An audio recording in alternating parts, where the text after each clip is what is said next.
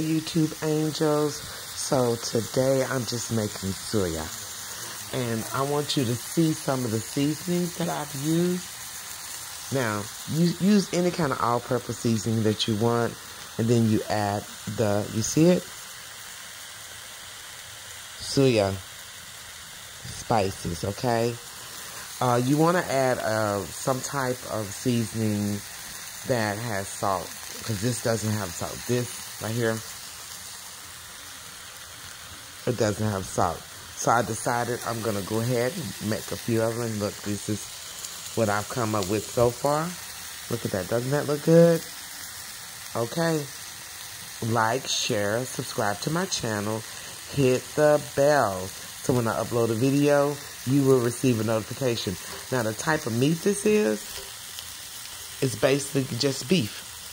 You see what I'm doing? I'm turning it, okay? It's just beef, okay? There we go.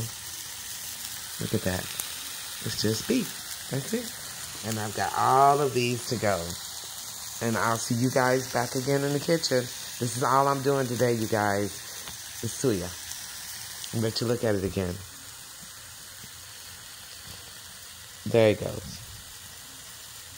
Suya. Okay.